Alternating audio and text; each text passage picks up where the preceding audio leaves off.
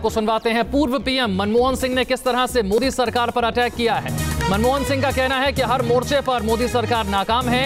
विपक्षी दलों को ज़रूरत है अब साथ आने की। सरकार बदलने का वक्त आ गया है।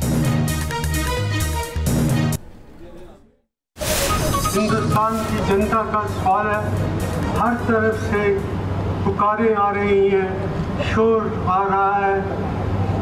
किसान परेशान है, छोटे व्यापारी परेशान है, नौजवान परेशान है, उनको कोई रोज़गार के साधन नज़र आ नहीं रहे और साथ ही साथ जो वादे मोदी सरकार ने भारत की जनता से किए वो पूरा करने में भी ये सरकार पूरी तरह नाकाम हुई है।